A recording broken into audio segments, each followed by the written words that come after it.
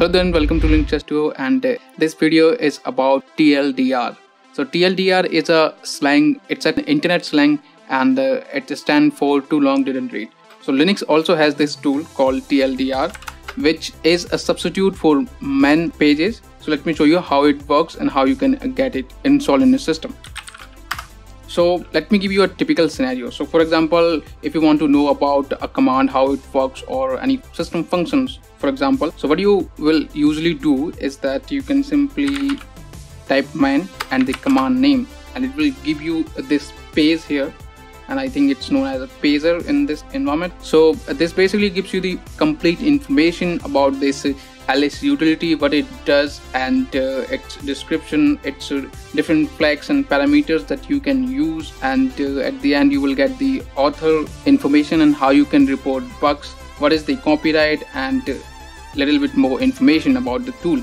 But this can be cumbersome for many users especially if you're new to linux and you are just trying to figure out how things work around here then you probably find it really discouraging. It's a lot of text i mean people do not like to read a lot of text right? So let me give you a counterpart of this man tool. So let me just uh, clear out from the the ls pager and let me show you how this tldr tool works so you just type just like man tldr and you specify the command that you want to know about. So just uh, let me give you an example for ls so as you can compare the man page was very long but this page is really really concise and to the point. And it also gives you the example as per the different use case. So let's say this is the ls command. So what it does it lists directory contents. And uh, these are different parameters that we can use. For example if you want to list all the files including the hidden file then we can execute ls-a so let me just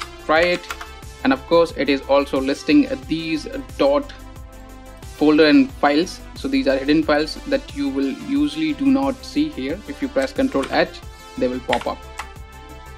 So it gives you a very precise meaning of the command or any system function that you want to know about. So that is what tldr is. And uh, now let me show you how you can get this tool in your system. So this tool is actually available in the repo so you can use your regular installation command like sudo apt install or sudo dnf install as per your distribution. So let me just show you sudo apt install and tldr. But uh, the version that is available here is very old. It, it's like 0.4 so developer had included it into the repo and they just stopped updating the app. So it's not available directly from the official repository or they do not provide any repository for that matter but you can install it using the npm or python pip. And there are different ways that are also available that you can use to get this tool. And i'm actually writing the article right now so you will uh, get all the information here. And the link will be given in the description of course. So let me show you how you can install it correctly in your system. So first of all you have to have npm installed in your system. So let me just uninstall this one because it's not updated so for that i can just type purge tldr so it's actually an alias for complete purge command. So i do not have to type the complete command. I can simply type the purge and it will do the same thing. If you want to know more about the alias then check out this video here. So let me just show you how you can install it correctly. So what you want to do is just make sure you have npm installed in your system.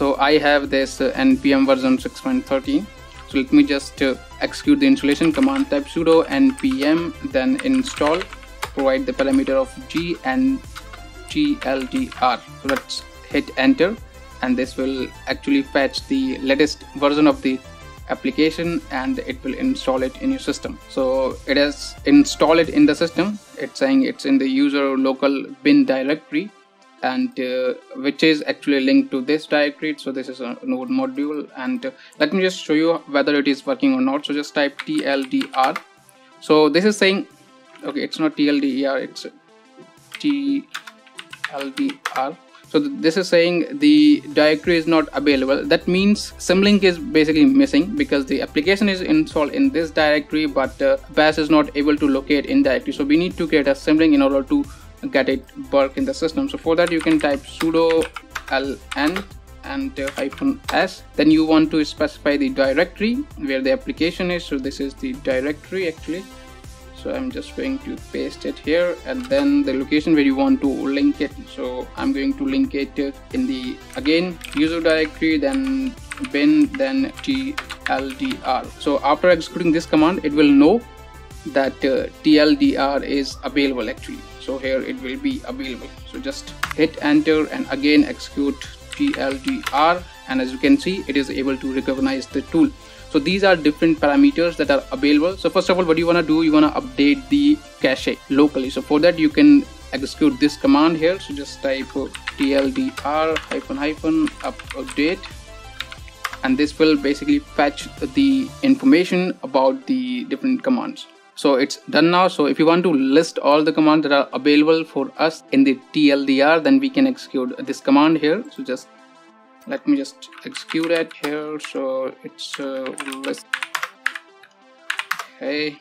So these are different things that we can query. So let's say we want to know about uh, this last command here. So we can simply type here like uh, tldr and last and this will give you information about the last. So this is the information. So it basically view the last toggle in the user and blah blah blah. So uh, this is a tldr and this way you can get it in your system. And of course you need to install the npm before installing this into your system and you can also use python pip. I will provide the link in the description that will guide you how to install using that. So do not worry about the installation because there are different ways that are available. And uh, this is the tool and uh, if you if you want then you can use it. So that's it in this video. And I hope you find this video helpful. If you did then do not forget to subscribe to the channel and hit the like button. Let me know what you think about this tool in the comment section below. I'll catch you in the next one. Till then take care and keep enjoying Linux.